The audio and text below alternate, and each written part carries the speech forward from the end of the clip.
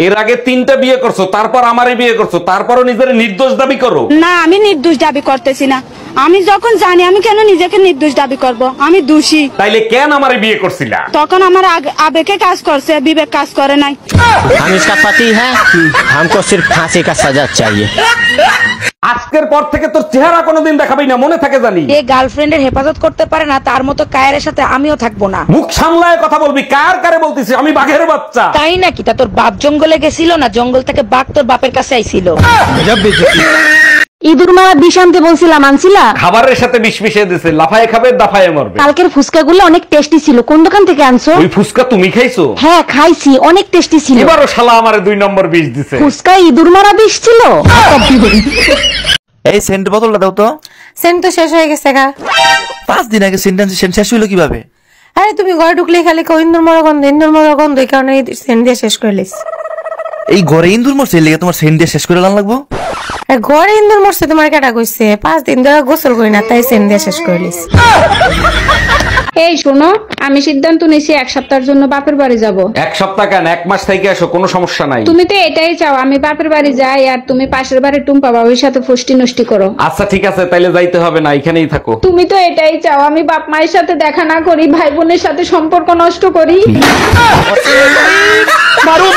এই কি হয়েছে তোমার? মন খারাপ কেন? ছোট্ট একটা স্বপ্ন ছিল পূর্ণ হইল না। কি এমন স্বপ্ন যে পূরণ হয় নাই? আমাকে বলো। ছয় সাতটা বাচ্চা হবে।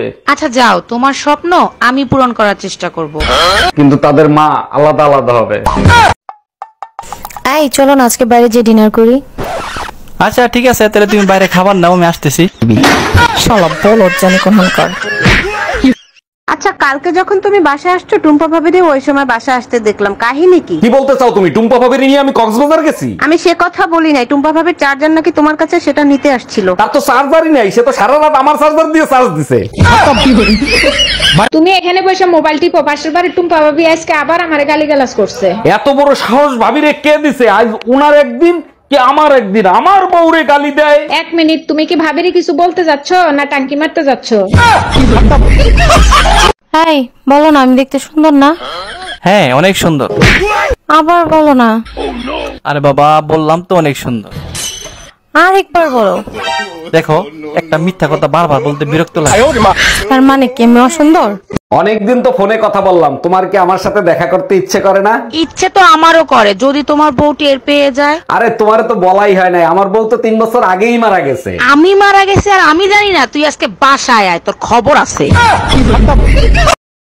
চাই রইছো কা সামনে দেখি। কি? মুই কি সালমান খান?